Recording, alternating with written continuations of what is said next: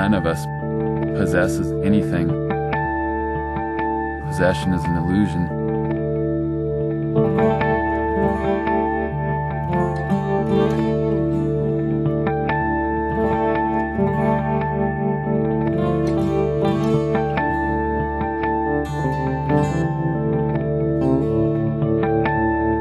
Things just keep rolling in this universe. They keep rolling into our hands and out, just as we need him and just as we need to let him go.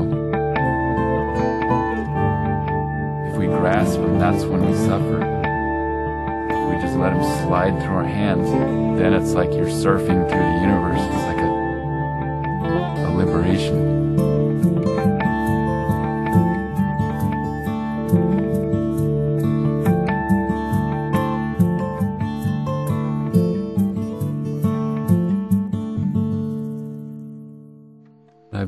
Moneyless for over five years now.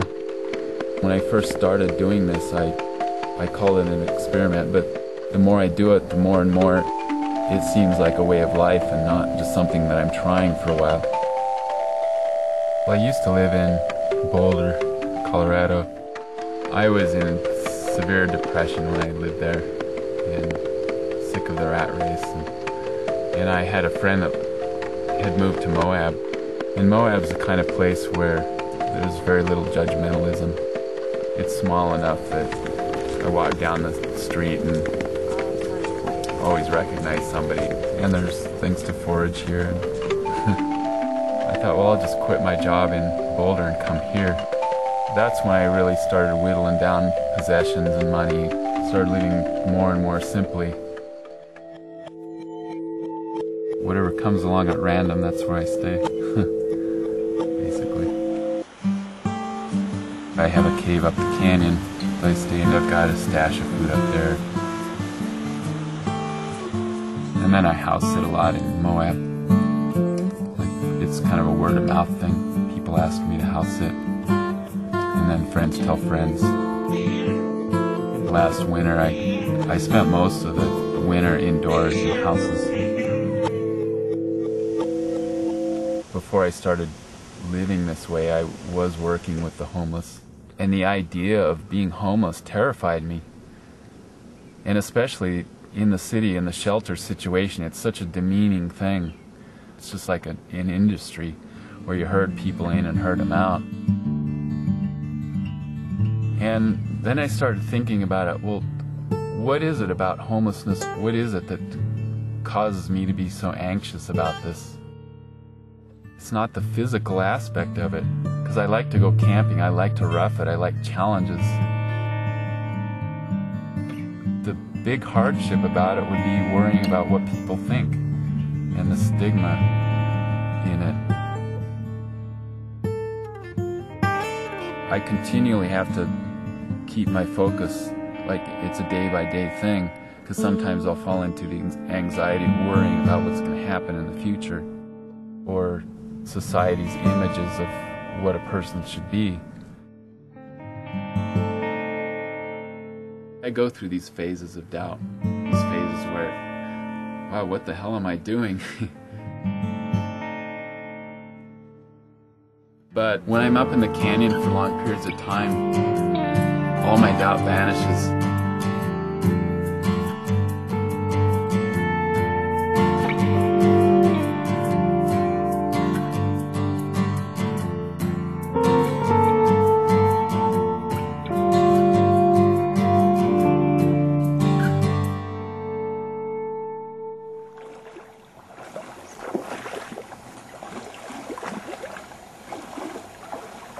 Nature provides everything exactly as we need it in the moment.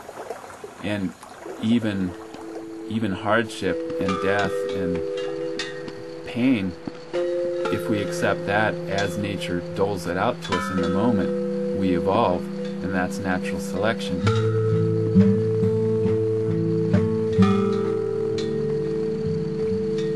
We sidestep natural selection you know, we, we don't have faith that nature takes care of the balance. Faith is living in the moment without worry for the future and holding on to things in the past. and not thinking about credit and debt and, and what's going to happen tomorrow if I don't have this and if I don't control this or that. How did money enter into this whole scene of nature, into this Eden? So what is money? It's an attempt to control credit and debt trade is not a bad thing, but it's like control of trade is what got us into the mess we're in. If it looks good, then continue with it, but if it doesn't, we should experiment with trying to live without that control of credit and debt.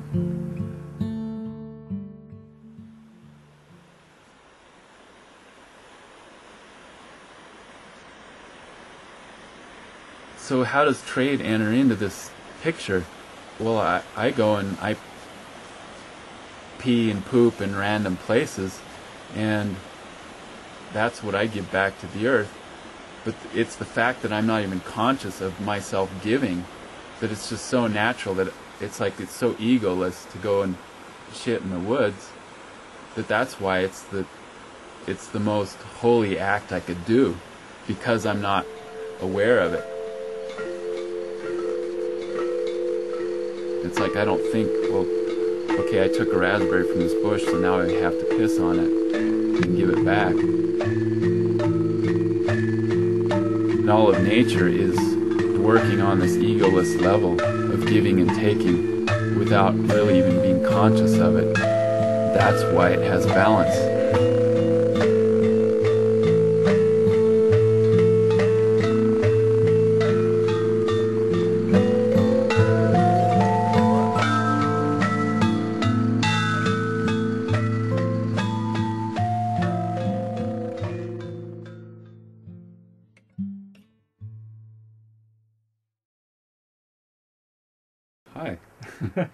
Was about 27, I went into the Peace Corps. Spent two years in the Andes in Ecuador, and then came back to the States, and I had kind of a reverse culture shock. The rampant materialism was kind of disconcerting. Then I went to Alaska. It was like a couple years before India. I wanted to try my hand at hitching back to Moab, Utah from Alaska and to see if I could do it. And I left Alaska with $50 in my pocket and when I got back to Moab, I counted my money and I had $25. And I thought, wow. And then I thought of all the things I spent money on, and it was like things that I didn't need, like candy and uh, a beer, whatever, you know, stuff that I didn't need. It amazed me, and, I, and that was the first time I thought, it's totally possible to live without money.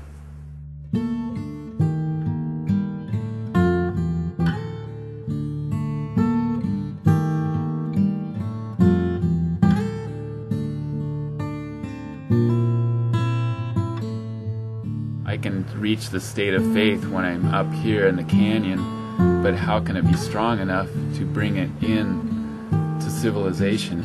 So I have to keep going back and forth to finally reach a state where I can maintain that that level of confidence within civilization and without.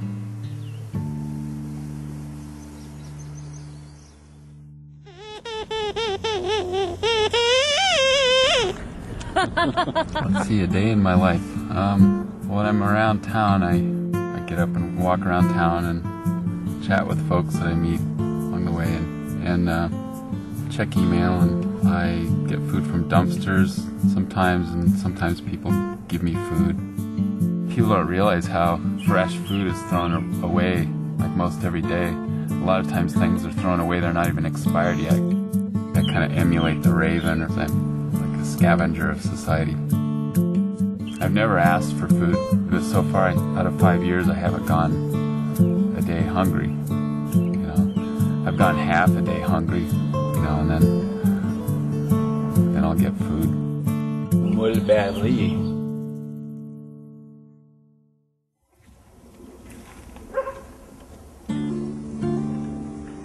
This is my friend Penny's backyard treehouse. And one day she said, yeah, you can crash there anytime you want. I don't stay here that often. It's just when I want to do stuff in town and I don't want to go up the canyon at night and I crash here. And it's a good drop off point for stuff. And it's a mulberry tree. It kind of feels like a mother because it's I rest in her arms and and I eat fruit from her branches.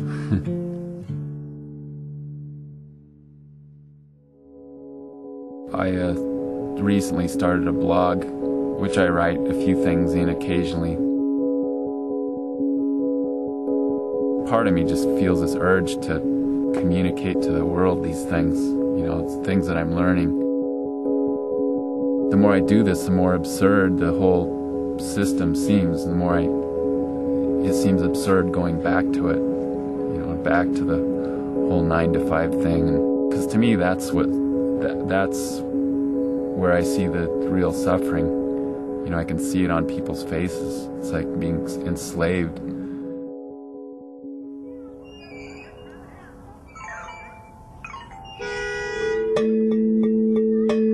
It's strange when when people like that sometimes will feel sorry for me. Sometimes I'll throw it back at them and I'll say, "Well, do you really think that I'm suffering more than you are?" or if, that I'm suffering at all. They're the ones that are popping the antidepressants to get through the day so that they can be the cog in the machinery.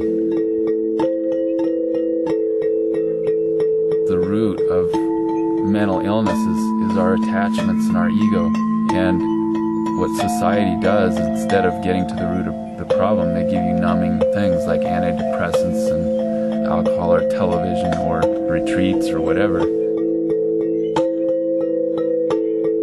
Wealth is an addiction and it's hiding big wounds that are inside of people.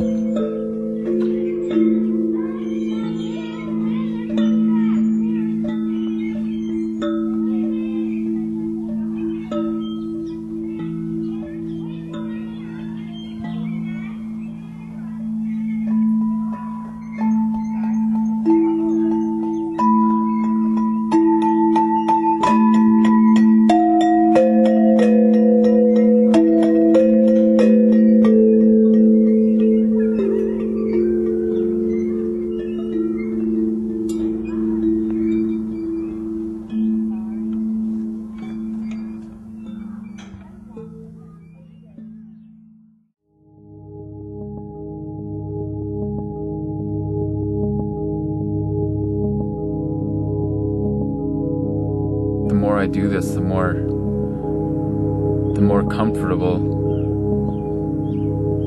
the whole world seems to me.